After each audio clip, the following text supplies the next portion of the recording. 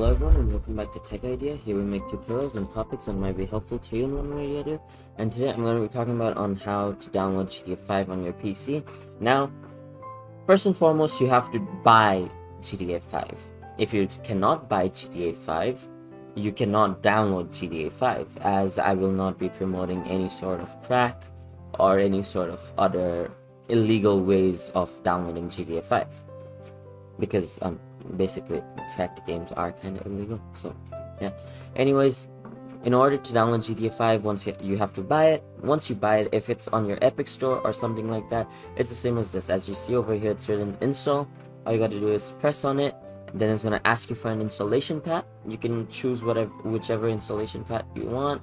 I'm just gonna wait. I'm just gonna select F file as usual.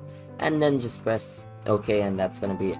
Now it's gonna be downloading as you can see it's over here downloading it's just 157 MB file and it's the same thing for GTA on the Steam it's also the same thing there's not much there's not much difference difference uh, other than the you know animation and the format of how it's being presented to you other than that everything else is the same so I hope you found this video helpful if you did, please drop a like and if you want to see more videos like this in the future, don't forget to hit that subscribe button as well as that notification bell. Thank you so much for watching. Bye bye.